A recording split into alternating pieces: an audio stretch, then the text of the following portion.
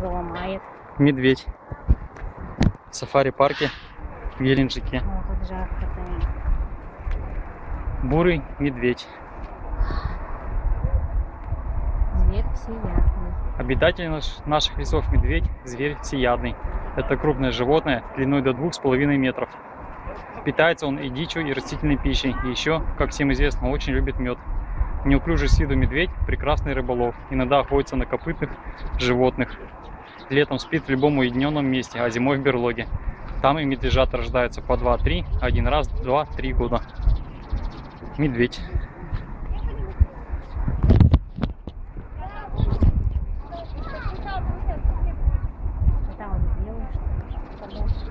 А